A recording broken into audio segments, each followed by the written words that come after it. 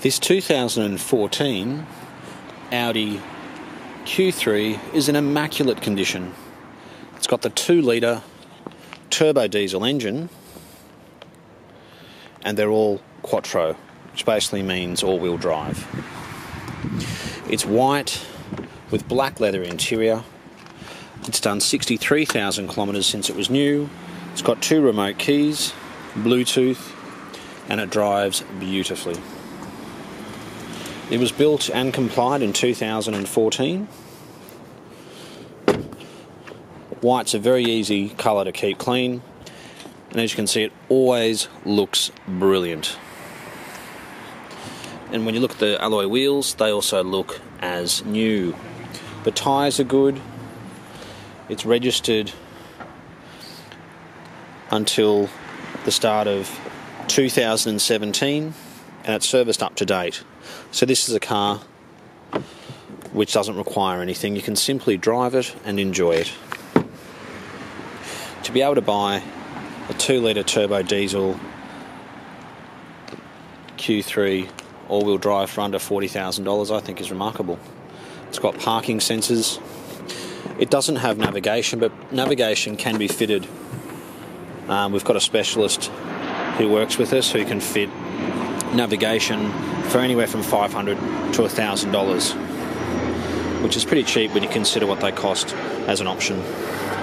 There's the spare wheel. The back seats fold down.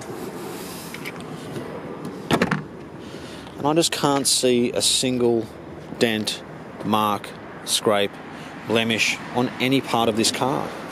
It's remarkable. The back left wheel generally seems to be the most affected by gutter rash.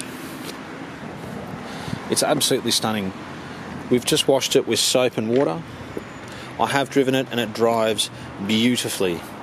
You'd expect after 63,000 k, surely you'd have a mark here or there on a wheel. So it's a very good car. And I honestly think you would struggle to find a Q3 in as good condition as this. I certainly don't think you're going to find one in better condition because there's really nothing about this car which could be better than it is right now. And as I said, I do think white's a very sensible colour combination. So it drives beautifully, it's got dual zone climate control, we know it's all wheel drive, so whether it's just to go to the shops and back to take the kids to school for the odd snow trip. It does all of this, and it's just not as big as a Q5 or a Q7 or some of the larger four wheel drives. Yet the back seat still has plenty of room.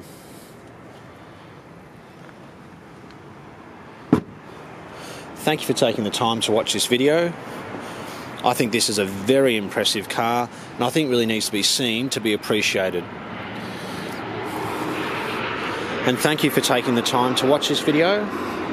We are the Oldtimer Centre. We're located in Marrickville. As you can probably hear, we're about 20 minutes from the airport and we look forward to hearing from you. Thanks again for watching.